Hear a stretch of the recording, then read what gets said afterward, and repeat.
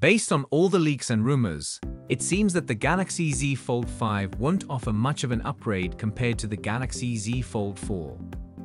We are eagerly anticipating an improved hinge on the device, which will eliminate the visible gap when folded and potentially minimize the crease's visibility.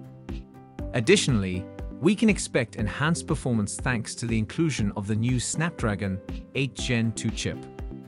In addition to potential dust resistance, the upcoming Z Fold 5 might not necessarily impress with a long list of new features and enhancements. However, it's important to consider that the primary focus of this device is its foldable display technology, which continues to astound users. Undoubtedly, it's not a great impression for a phone with a price tag of over $1,500 to bear such a striking resemblance to its predecessor. Complaints regarding the lack of innovation in the Z Fold 5 are bound to surface on the internet once the device is released. One must give credit to Samsung for not opting to make significant upgrades on its flagship smartphones every year. This thoughtful approach ensures that customers are not burdened with an increased price tag for unnecessary features. On the contrary, each new flagship device needs to offer something truly exciting and innovative. Unfortunately, it seems that the Galaxy Z Fold 5 may not live up to those expectations and could potentially be a disappointment in terms of its new features and capabilities. That may not be such a bad thing though, for at least one reason. Fewer people are updating their phones every year these days. Consumers are now holding onto their smartphones for longer periods compared to before. This is the reason why Samsung and other Android manufacturers have started extending the software support period for their devices. It's important to acknowledge the challenging economic conditions that have arisen globally since the onset of the COVID pandemic in 2020.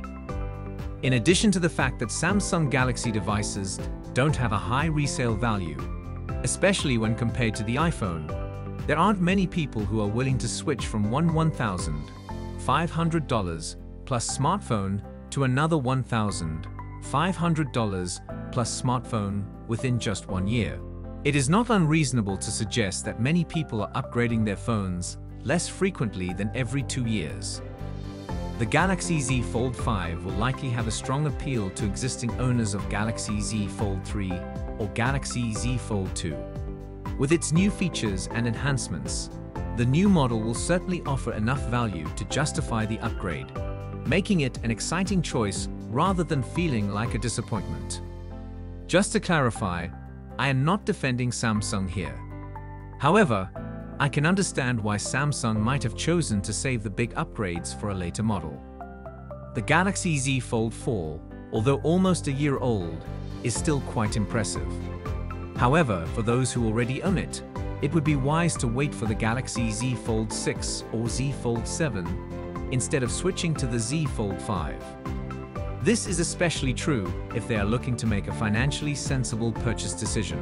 The two smartphones will be unveiled at the end of July during a Galaxy Unpacked event in Seoul.